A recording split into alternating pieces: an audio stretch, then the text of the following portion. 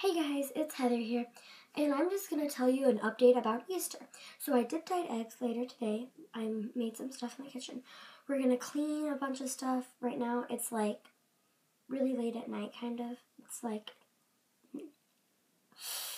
9 or 8 o'clock. Um, we're getting ready because the guests are coming here.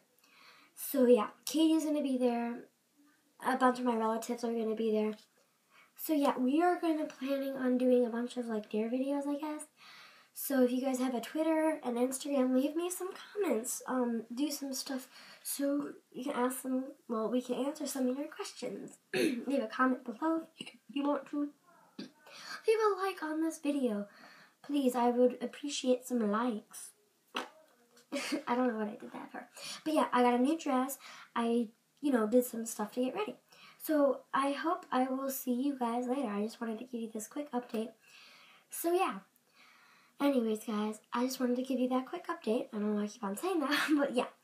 Um, so just to get you prepared for tomorrow, I will be doing a get ready with me vlog, which would be is like what I'm gonna do and what I'm gonna wear. Anyways, I will see you guys later. I love you. Please subscribe to us because we really need you guys. One person makes the whole girly world go round. Yep, that made sense at all. That made sense. Definitely. Anyways, subscribe.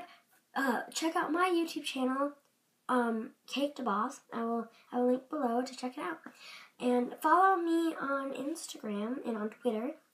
Yes, I have a Twitter. Tweet tweet. Anyways, guys, I will see you later. Bye.